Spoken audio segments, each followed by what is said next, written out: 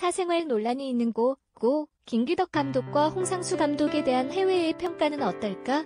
지난 27일 방송된 JTBC 톡파원 25시에는 배우 연구소 백은하 소장이 게스트로 출연, 세계 3대 영화제인 베니스 국제영화제, 베를린 국제영화제, 칸 영화제에 대한 이야기를 나눴다.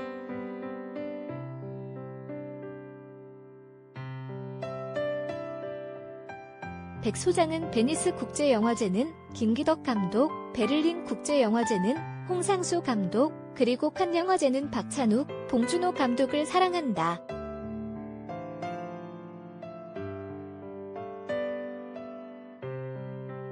영화제마다 다른 가치와 기준으로 감독을 선호한다며 각 영화제마다 다른 기준에 대해 설명했다.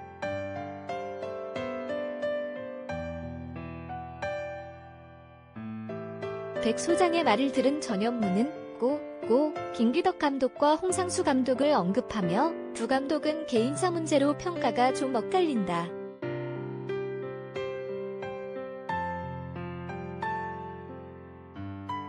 국제영화제에서 보는 시각이 궁금하다고 물었다.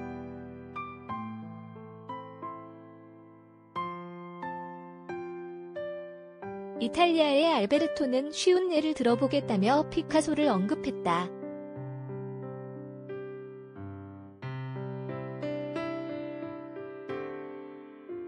알베르토는 이어 피카소의 경우 사생활에 관한 논란이 많았지만 아티스트로선 존중받아야 한다는 생각이 보편적이라며 이탈리아는 재능과 사생활은 별개의 것으로 판단한다고 답했다.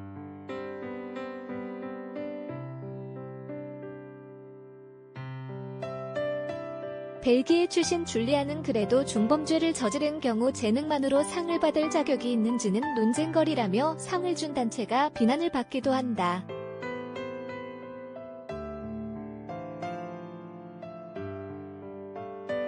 여전히 고민 중이다고 전했다. 미국인 타일러 또한 논란이 있는 작품이라고 해서 그것이 예술성이 없다고 판단하지는 않는다며 예를 들어 히틀러가 낸 책나의 투쟁의 경우 예술성이 있고 문학적 의의를 가졌다고 판단한다.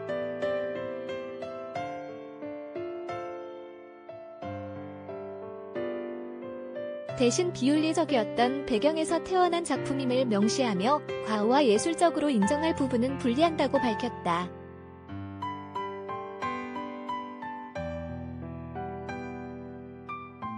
백은하 소장은 영화제가 어떤 감독을 지지하는 것은 그들이 규정한 예술적 정의에 위반되지 않았음을 말한다며 오레칸 영화제의 경우 러시아 대표단을 초청하지 않아 러시아 기자들은 다 못 들어왔다.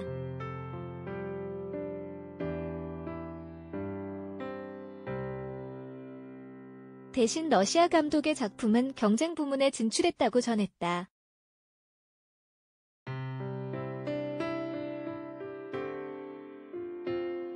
백 소장은 예술과 도덕을 분리할 수 있는지에 대한 논란은 지속될 것이라 생각한다고 말을 이었다.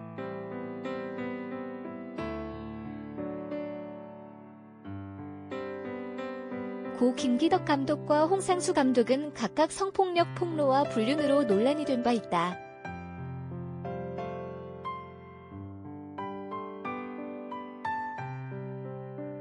영화 기생충의 영어 자막 번역가로 유명한 달시 파켓은 2020년 코로나 합병증으로 생을 마감한 김기덕 감독에 대해 김기덕의 성폭력 논란을 다룬 프로그램이 TV를 통해 방영된 후 나는 그의 영화를 가르치는 것을 중단했다.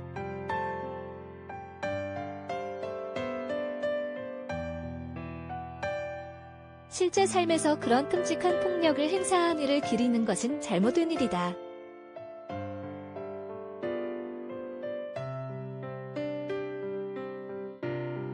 이는 그가 천재여도 상관없다. 그리고 나는 그가 천재였다고 생각하지 않는다. 는 트위터 글을 작성한 바 있다.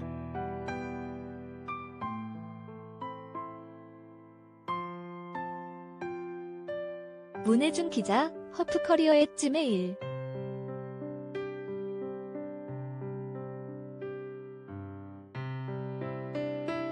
캄